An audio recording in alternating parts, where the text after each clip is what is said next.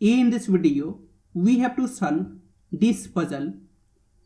So suppose this number is A, this number is B, this number is C and this number is D. Then from this equation we have A plus B is equal to 8. From this equation we have C minus D is equal to 6.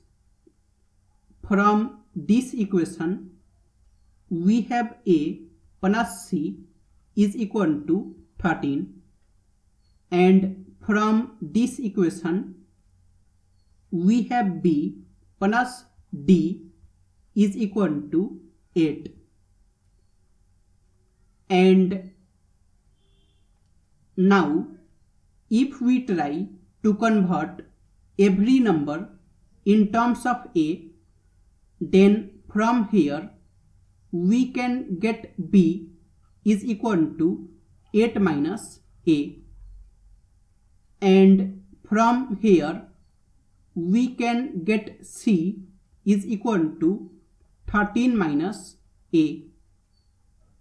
And from here we can get D is equal to C minus 6 and it is equal to C is 13 minus A minus 6 and 13 minus 6 is 7 minus A.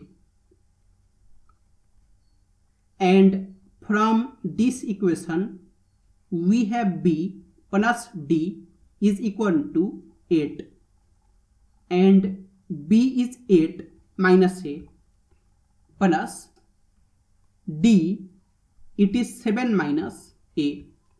That is equal to 8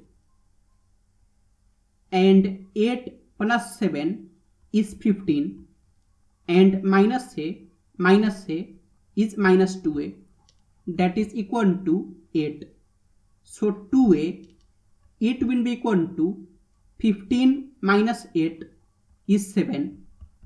So A will be equal to 7 by 2 that is 3.5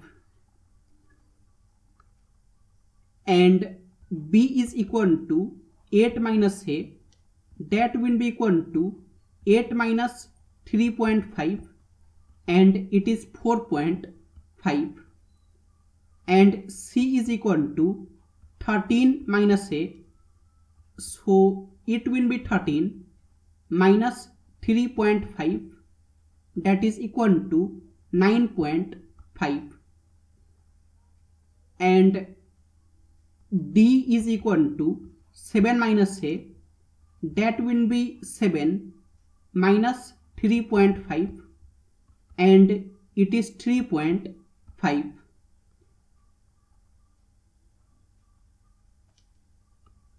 so